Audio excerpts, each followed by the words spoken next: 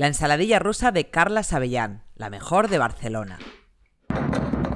Cocemos la patata y la zanahoria. Escurrimos el bonito del norte.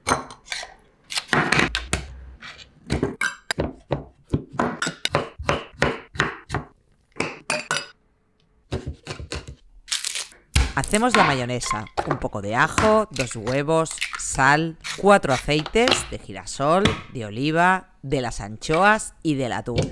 Y una anchoa. Deliciosa. Montamos la ensaladilla.